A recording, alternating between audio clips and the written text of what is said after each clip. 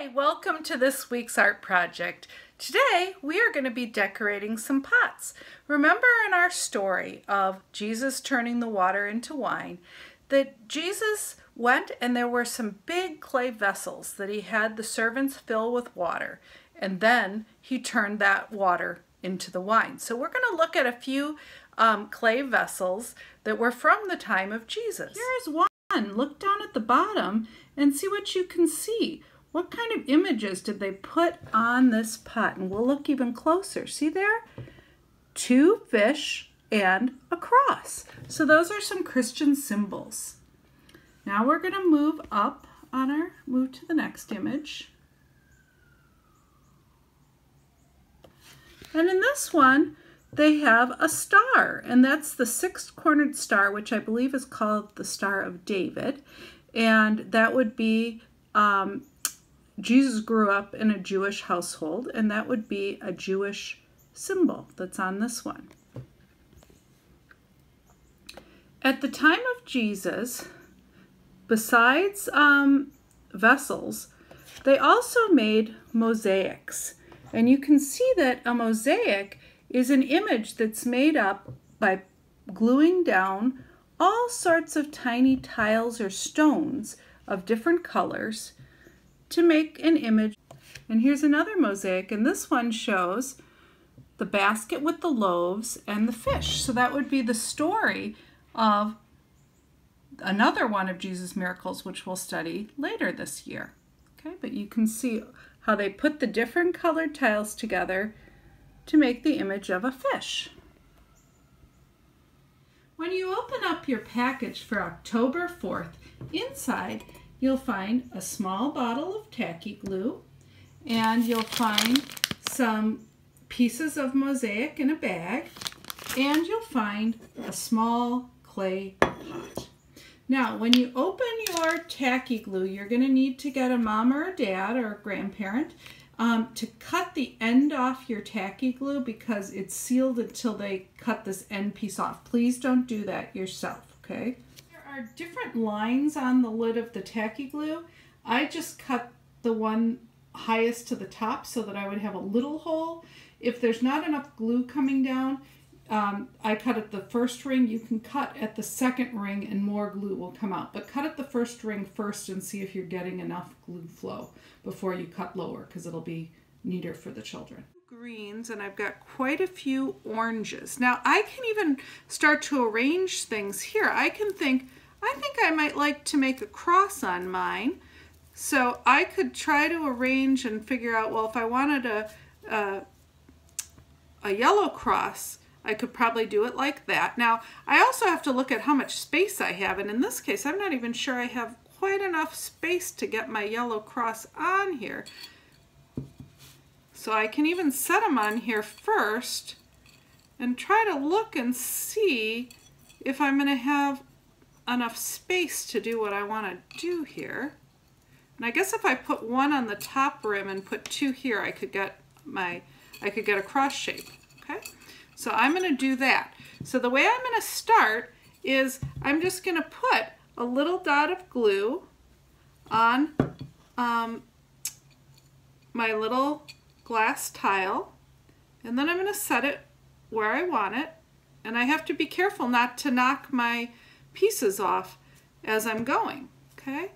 Then I'm going to set another piece of tile right here, okay? And I'm going to set another piece.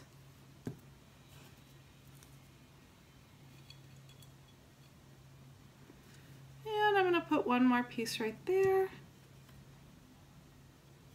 So you can either put the glue on the tile or the glue on here, but I'm not, I'm just putting a little dot. I'm not squirting the glue all over the place and making a huge mess, okay? We don't need that much to make it hold and make it work, okay? With this kind of glue we're using. Okay, so now you see I made a little cross with that. And I think that I am going to then go around my cross with some different colors of blue And if one of these slides a little, you can just gently push it back while the glue is still wet. Okay?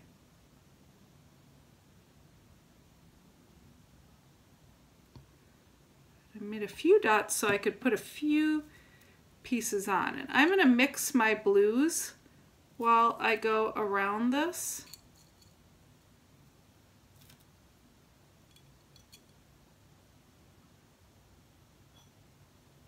Because they're um, squares, they kind of, you know, they easily fit together to make your little design.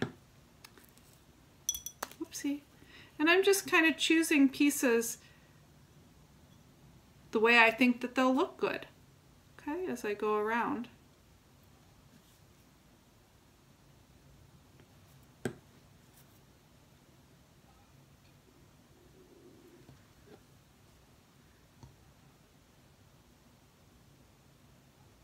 Have enough.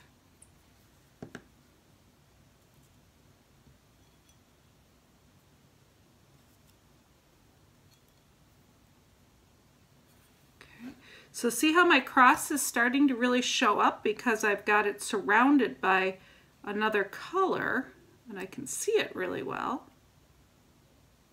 And you don't have to do a cross on yours. You could do um, something different if you want. Maybe you want to make a fish on yours. Maybe you just want to make yours a design and it's not, it doesn't really have a certain image. That's okay too. Just something pretty the way that you arrange your tiles or interesting or exciting looking. I think I'm going to switch. Uh, no, I'm going to take this one off and I'm going to use one that's this color right here. So you can, while it's wet, you can still correct something if you don't really like it and you want it to look a little different, okay? So there's my cross on this side. And then maybe, um, maybe I'm to go on on the other side. I might want to just stop now for a little while and let my cross dry if I can't be really careful to knock it off the thing. But on the other side, I think I'm just gonna actually start here and I'm gonna continue just making a design, I think now, because I've got my cross. So I think I'm gonna, and I don't know how many, how far my tiles are gonna go. So I'm gonna make, start by making a design that has just a ring that kind of goes around the pot here, I think. And I think what I'm to do is I'm just going to vary my colors and I'm going to go all the way. I think I'm going to make one line first, actually. See if I can get all the way around with one line. And if I can, then I, maybe I'll add a second line once I know how many tiles I have. Okay, So I'm just putting a dot here. I might have to speed this up so you guys don't get bored watching.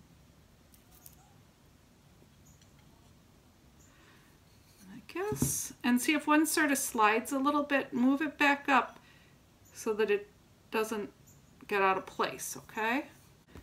I'll do a blue one. I'm just putting little dots on there. I'm just varying my colors. Look at that. I finished my design and you know what? I don't even have one extra tile. So I kind of used the right amount for what I needed to do. So here's my pot. I did a cross on that side and then I did little row that goes all the way around. Now I'm going to set it down and I'm just going to look really carefully to make sure that none of mine are sliding and just and I think that because I have this little ridge here I'm just going to turn mine over while it dries and set it upside down because this little ridge here is going to keep these pieces from sliding down okay? And my other ones are dry enough. So I'm going to just leave it here while it dries and you can see it's just it's got its nice little cross on that side. So you can make yours with whatever design you want to do.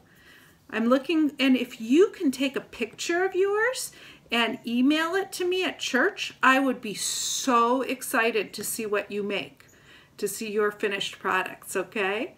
Have a good week.